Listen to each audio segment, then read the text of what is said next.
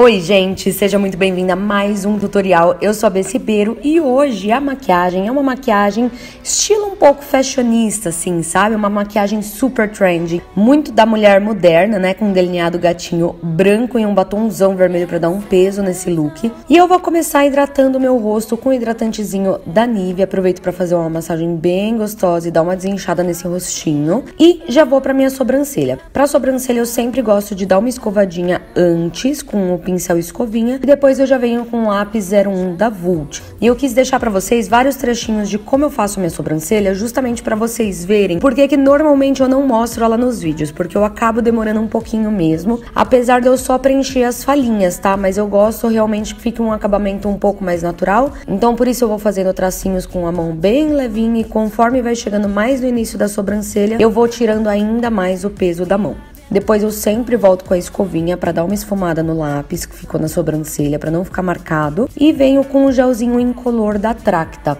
Esse gelzinho incolor é o que vai deixar minha sobrancelha no lugar e no formatinho que eu quero. Então eu gosto sempre de pentear um pouquinho para cima e lá no finalzinho pentear pro lado. Mas quando realmente a gente deixa a sobrancelha mais para cima, isso ajuda a levantar o olhar.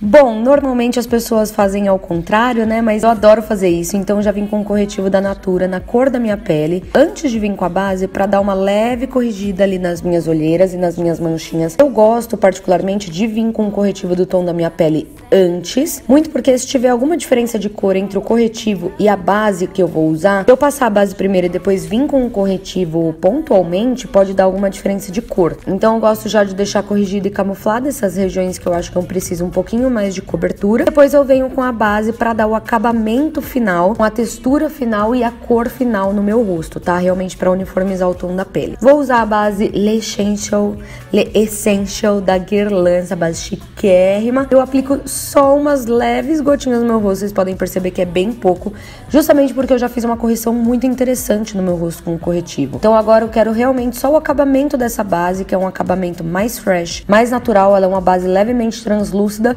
mas ó, não se enganem não, tá? Ela tem uma cobertura aí de leve, eu diria até que médio. E um pinguinho que você pinga, amiga, ela espalha, tipo, na metade do seu rosto inteira. Olha isso. E aí sempre com a esponjinha úmida, eu vou dando batidinhas e vou dando acabamento para deixar essa pele ainda mais natural.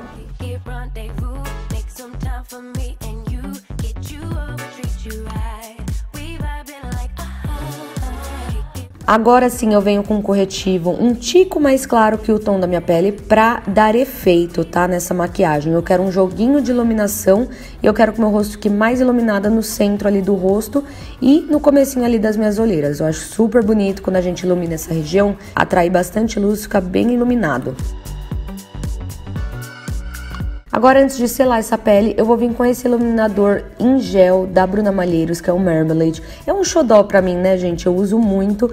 E eu pego o produto, eu sempre tiro o excesso na tampinha. Eu gosto também de tirar o excesso no dorso da minha mão, justamente porque eu aqueço o produto, faço com que ele entre melhor no meu dedo, sabe? Pra quando eu vim ali no rosto, dando batidinhas, o produto ele meio que se mescla com a base. Já é um produto maravilhoso. E dá batidinhas com os dedos, sem dúvidas, é a minha forma de aplicar esse produto favorita. Eu aproveito pra iluminar abaixo da sobrancelha, o cezinho e também o cantinho interno dos olhos. Agora eu vou vir com o pó translúcido da Arela e com um pincel bem fofinho eu vou selar a região abaixo dos meus olhos e também a lateral do nariz. Eu amo uma pele glow, mas realmente não é interessante a gente ter o rosto inteiro brilhando para não dar aquela cara de suada. Então eu deixo essa região bem opaca, tá? Agora eu já vou vir com um contorno cremoso da Huda Beauty e um pincel bem fofinho. Eu vou fazer todos os contornos ali do meu rosto. Eu amo esse contorno porque ele esfuma, espalha super bem, ele é bem molinho, sabe? E a cor dele, que é a cor fair, fica perfeita para mim, forma uma sombra bem natural realmente no meu rosto, não fica artificial. Depois que eu venho com o pincel, eu gosto sempre de voltar com a esponjinha que tem um pouquinho de base e dar um acabamento nas transições entre o contorno e a base, tá? Para ficar ainda mais natural. Agora eu vou vir com esse blush da Vult, que é um blush bem rosinha, muito fofo e com um pincelzinho chanfrado. Vocês podem perceber que eu tiro o excesso de tudo, né?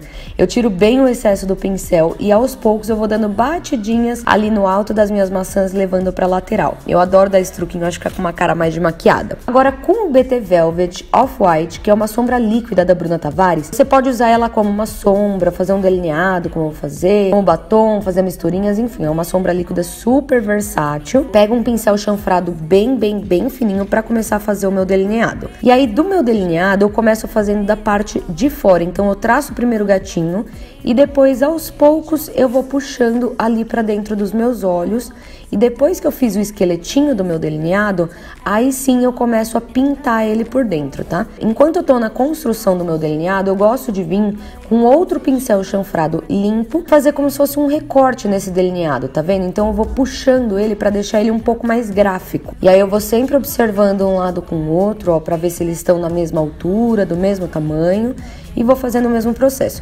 Depois que eu já finalizei os meus delineados, aí sim eu volto com o pincel chanfrado, mas dessa vez com um pouquinho de corretivo e dou um recorte e vou aplicando corretivo nas laterais para deixar esse acabamento desse delineado ainda melhor.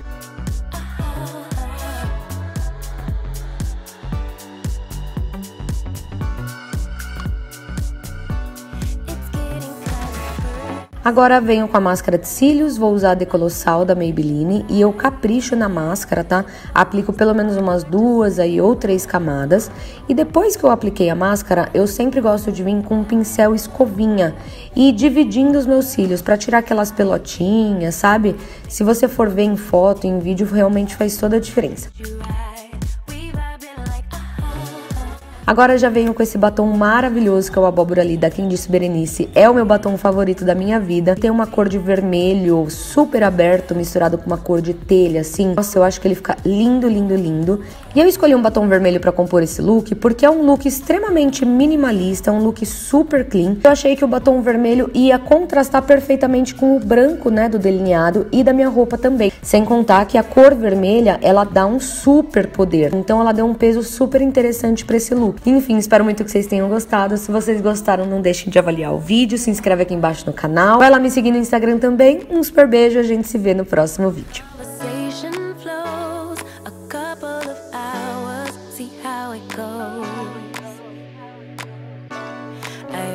trust my senses. Catch me if I fall. So done with second guessing. You seem to have it all.